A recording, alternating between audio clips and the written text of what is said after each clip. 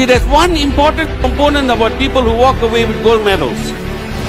They understand the concept of the word die. And die means do it every day. Whatever you do every day, you become the master of. Messi is one of the world's best footballers. Federer is one of the world's best tennis players because of the magic that they put. And the magic comes from here. And when you do it with your heart, then success automatically comes. It chases you. It follows you wherever you go.